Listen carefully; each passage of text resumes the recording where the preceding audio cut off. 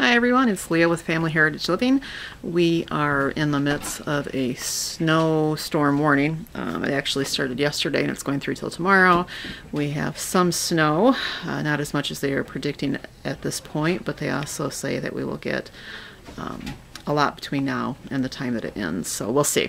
Anyways, we got a little footage of that. Also, um, we took some footage of Ron um, modifying the ice box thanks to Boss of the Swamp out there. Uh, he gave us an idea some time ago on how we were going to utilize that, our ice box up here without having to um, freeze uh, water bottles like we used to do down south, not having electricity up here. You know, we don't have the option of putting them in the freezer, but also we could freeze them outside.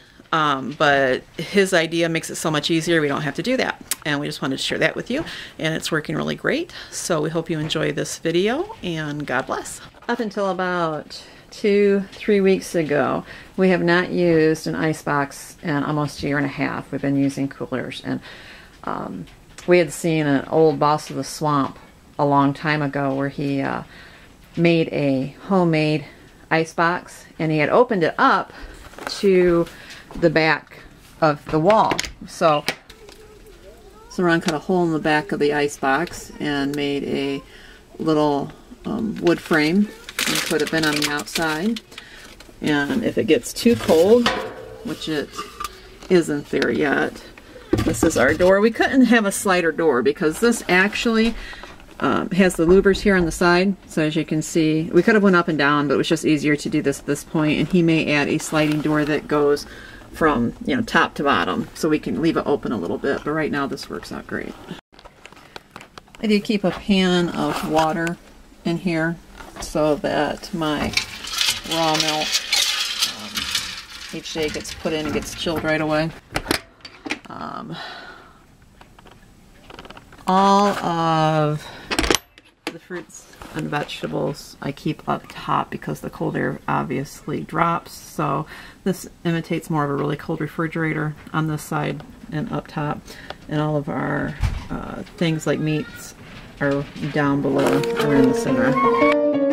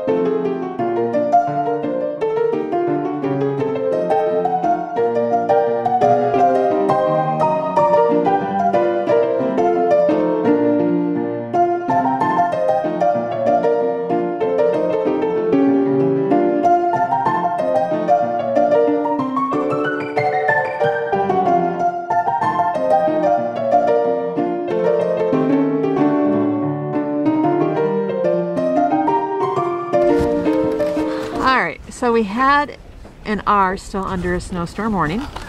We had no snow on the ground yesterday. We are supposed to get up to 13 inches between now, or last night, starting late last night and tomorrow sometime. I don't think we're gonna get there. We've probably got, I don't know, maybe five inches around. Being right out in the lake, things can change real quick. So we could get some lake effect snow um, and that can be, that can leave inches and even feet behind. So we'll see. But the kids are enjoying it. And it is pretty.